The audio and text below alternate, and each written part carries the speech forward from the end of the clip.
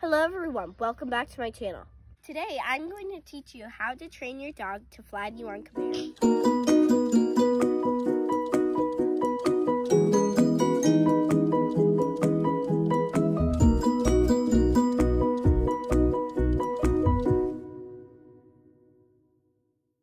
Now the first step to doing this is training your dog to fly upward. Luna, fly up! Good dog, come on! Come on! Good Now do this once or twice. Up! Up! Oh, good dog! Once or twice more times. Luna, up! Okay, sorry, I put my arm out that time. So what you're gonna start doing is you're gonna start to have your dog go up, Luna, up, go up, and then catch them when they fall. Good dog! So we're gonna do that more. Luna, up, good dog. And then they learn to jump up onto your hand. Luna, up, good dog. See, she jumped but changed her mind to going up here.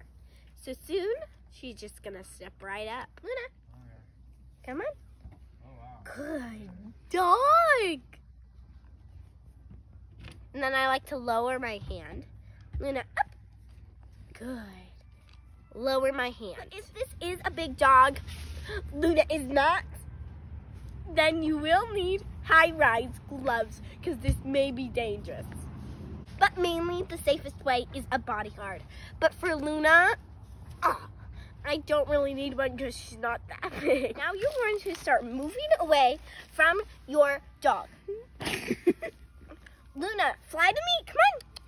Good dog. And you are just going to be rewarding her and moving further away from her. Okay? Stay.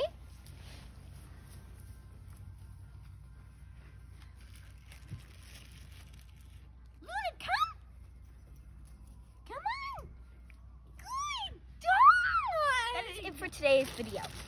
I hope you learned to train your dog to fly to you on command. Luna, come. Fly to me, come on, and jump up. Good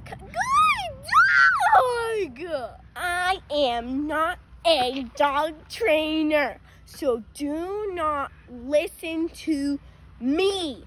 No, never. Okay, now stop the video.